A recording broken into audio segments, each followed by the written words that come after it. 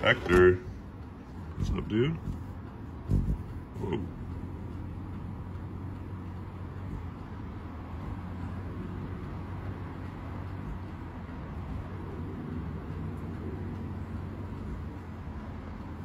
Biting out the bit.